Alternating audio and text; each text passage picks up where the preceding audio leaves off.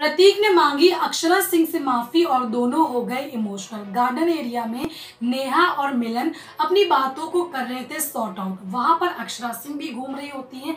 नेहा अक्षरा को बुलाती है और कहती हैं कि वो मिलन और नेहा की बातों को गलत ना समझे, जिसमें मिलन अपने दिल की बात कह रहे होते जिसके बाद यहाँ पर अक्षरा मिलन की साइड लेने लगती है और इमोशनल हो जाती है, रोने लगती है। जिसके बाद प्रतीक सेजवाल भी वहाँ पर आ जाते हैं। प्रतीक को देख करके अक्षरा कहती हैं, कुछ लोग अपना गेम खेलने के लिए कुछ भी कर सकते हैं, क्योंकि वो इस गेम में एक एम लेकर के आए हैं. इसके बाद प्रतीक सेजपाल अक्षरा से कहते हैं कि ऐसा कुछ नहीं है और उनकी आँखों में आँसू आ जाते हैं।